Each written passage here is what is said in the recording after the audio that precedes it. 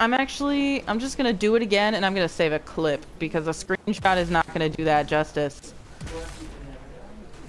Um, then I would cry. But also it already happened once, so I think it's fine. oh shit, that was the sea monster!